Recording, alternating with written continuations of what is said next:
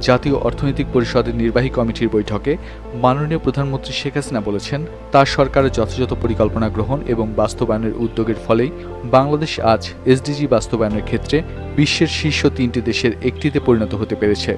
টেকসই উন্নয়ন লক্ষ্যমাত্রা বাস্তবায়নের ক্ষেত্রে আমরা সুপরিকল্পিত পদক্ষেপ নিয়েছি এবং পঞ্চবার্ষিকী পরিকল্পনায় এগুলো গ্রহণ করেছি। আবার বাংলাদেশ আওয়ামী লীগের যে ঘোষণাপত্র, গঠনতন্ত্র, নির্বাচনী ইশতেহার, সেখানেও দেশের উন্নয়নের কথা চিন্তা করেই বিভিন্ন পদক্ষেপের কথা আমরা ঘোষণা করেছি এবং সেভাবেই সরকার গঠনের পর থেকে নানা কার্যকর পদক্ষেপ নিচ্ছি।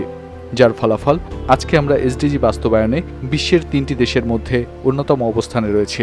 করোনা ভাইরাসের কারণে যখন সমগ্র বিশ্বের অর্থনীতি স্থবির, সেই সময় বাংলাদেশ একদিকে করোনাভাইরাস মোকাবেলা ও মানুষকে সুরক্ষিত করা, অপরদিকে অর্থনৈতিক উন্নয়নকে গতিশীল রাখতে পেরেছে। আমরা সকলে মিলে কাজ করেছি বলেই এই অর্জনটা সম্ভব হয়েছে। তবে আমাদের অনেক দূর এগিয়ে যেতে হবে।